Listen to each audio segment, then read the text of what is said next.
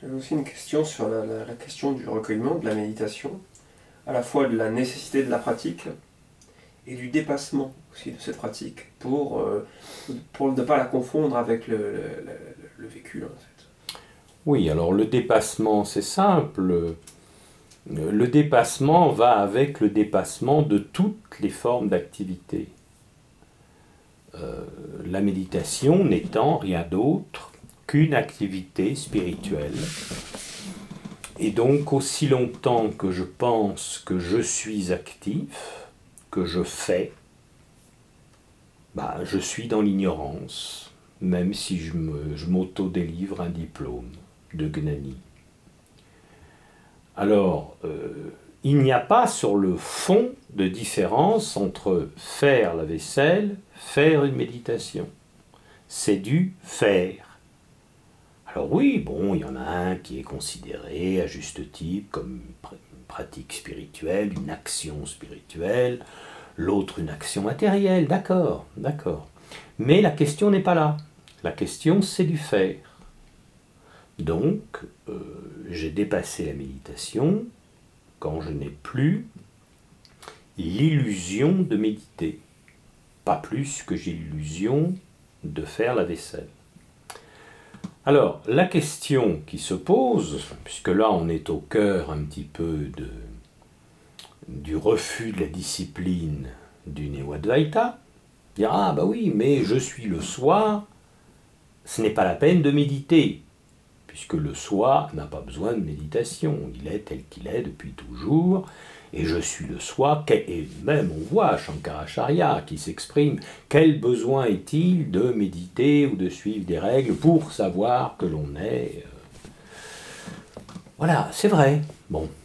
Mais alors, euh, le raisonnement est faux. Non pas chez Shankaracharya, qui lui sait ce qu'il fait, mais il est faux chez, euh, dans le Néo-Advaita. Pourquoi? Parce que voilà, je suis en dehors de tout faire. Bon, je suis inactif, la conscience qui perçoit n'agit pas, elle perçoit toutes les formes de faire depuis la méditation jusqu'à la vaisselle.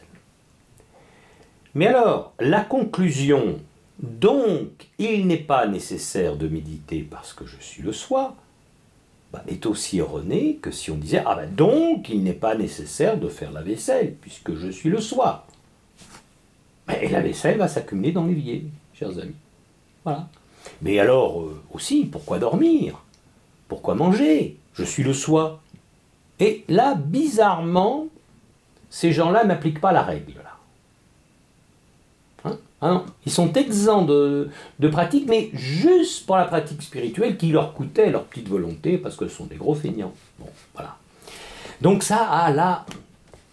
Mais pour le reste, pour le reste, et puis n'oublions pas qu'ils ont des systèmes commerciaux avec eux, donc ah ben, pas besoin de compte en banque, je suis le soi. Qu'est-ce que le soi a à faire avec un compte en banque Voyons?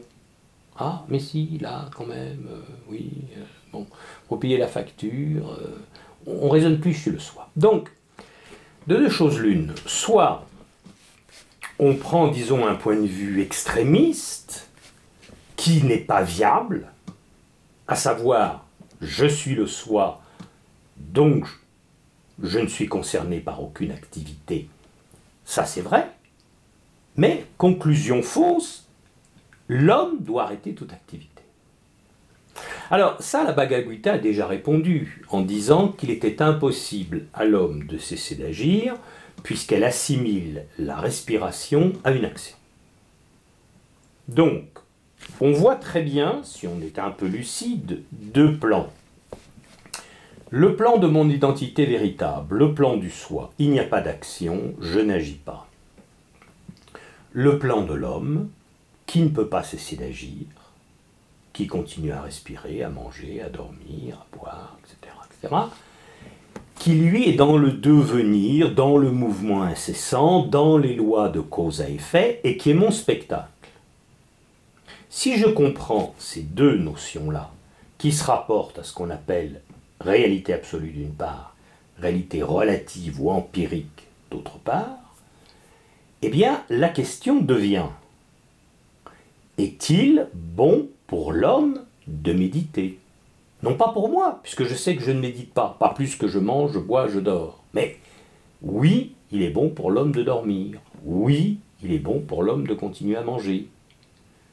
La méditation, oui, il est bon pour l'homme de continuer à méditer, parce que ça entre dans les lois de cause à effet, c'est bon pour lui. Voilà.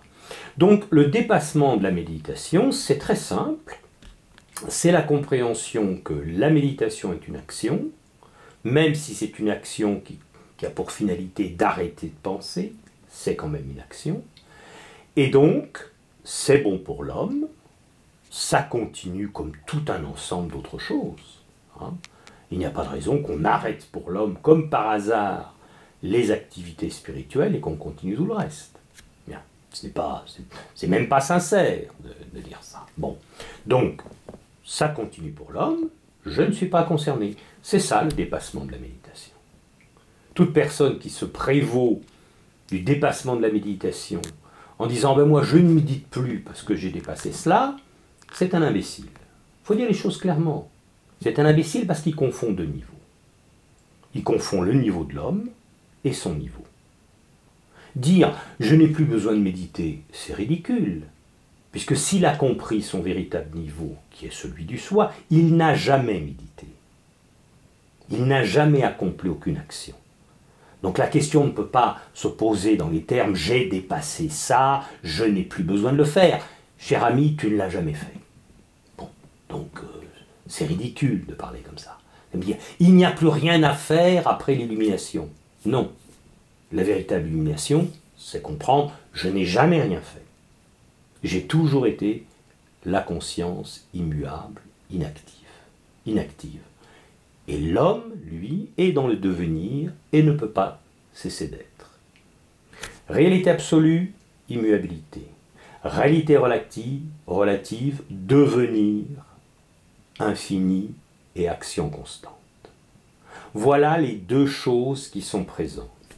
Le petit homme qui parle réalité relative, la conscience, ma conscience qui perçoit le petit homme, réalité absolue. C'est ça. Donc, dépasser la méditation en disant je n'ai plus besoin de méditer, il n'y a plus rien à faire, il n'y a plus de discipline à suivre, ce sont des bêtises de gens qui n'ont pas compris les deux niveaux. Voilà le vrai dépassement.